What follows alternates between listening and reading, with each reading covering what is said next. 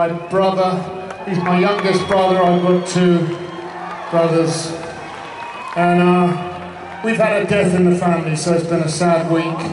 Not family exactly, but our brother Paul, our middle brother, uh, lost his wife this week to cancer. You know, it just fucking happens, doesn't it? And it's, uh, it happens, everybody, it happens all the time. So we've had a sad week, but it was his birthday.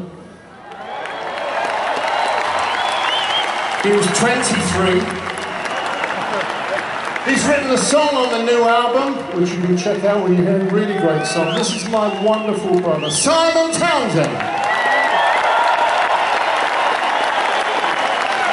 Behind him is another real kind of long-time pal of mine and of The Who and of Roger's. He's worked with Roger solo, me solo. Great songwriter, Billy Nicholls! Bass, still getting better all the time, Jon. You can't help it, can you? We could do something about your hair, though. It's a bit teenaged. Jon Button! A difficult seat to fill in the Who since the days of the crazy Keith Moon. This is the amazing student of Keith Moon, one of Keith Moon's only students, in fact his only student. He only had one student, and what a fucking mess he made of this. Zak Starkey!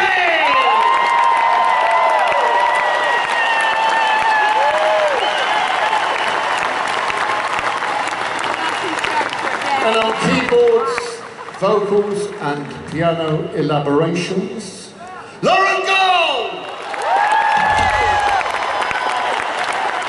The orchestrations you heard tonight were by a wonderful orchestrator called David Campbell. He's not here tonight, but give a hand for David Campbell. Thank you. And our conductor and organiser does tricks as well fixing, which means hiring the musicians. We have different musicians every night. This is Keith Levenson. Roger already produced our lead cellist, who is Audrey Schneider.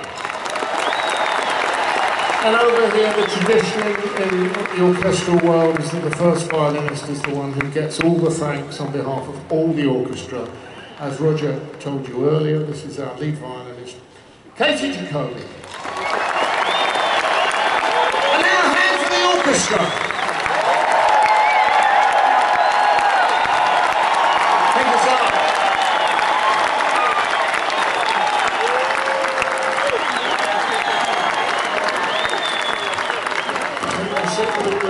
Take